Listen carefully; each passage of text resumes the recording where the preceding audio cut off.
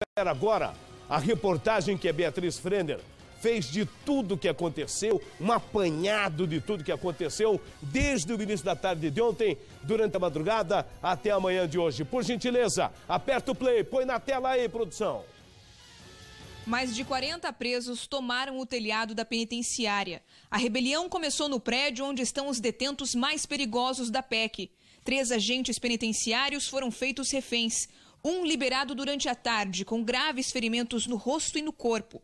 Outros dois ficaram amarrados e no telhado da penitenciária eram agredidos pelos presos. Viaturas do CIAT atenderam a feridos e há confirmação de uma pessoa morta. Os presos entraram em rebelião pedindo por melhor tratamento para eles e aos familiares, mais acesso a consultas médicas.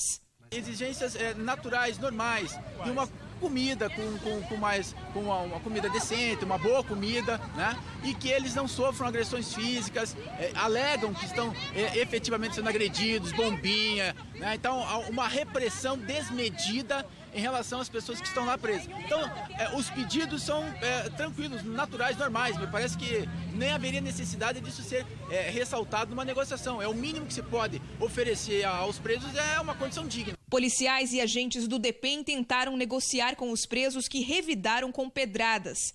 Vários disparos de bala de borracha, explosões e muita fumaça. Detentos atearam fogo em colchões e alguns conseguiram fugir. A situação não está tensa apenas dentro da penitenciária estadual de Cascavel, mas também aqui fora. A BR-277 foi bloqueada por familiares, esposas de presos, inclusive com fogo, no meio da rodovia. Os familiares falaram que, que vão continuar a interdição até que venham notícias da parte interna, né? Que não é responsabilidade da PRF. Estamos esperando aí que é, o, os órgãos competentes, né, que são de responsabilidades ali do, da, da PEC, né, tragam informações aqui para os familiares, segundo eles, logo após as informações, eles vão sair da rodovia.